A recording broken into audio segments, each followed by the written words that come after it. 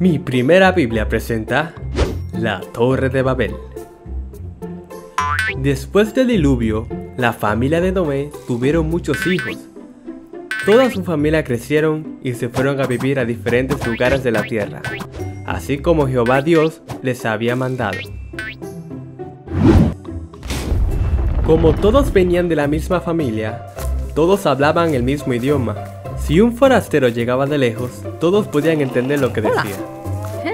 Había un grupo que no obedecía a Dios y entre ellos dijeron, quedémonos aquí y construyamos una gran ciudad y una torre que llegue hasta los cielos. Así nos haremos famosos.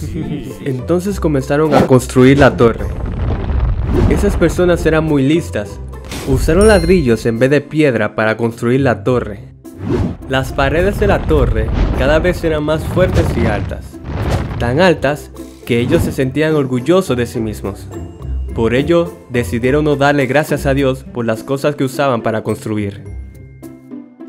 Cuando Dios vio lo que la gente trataba de hacer, se dio cuenta que tenía que detenerlos.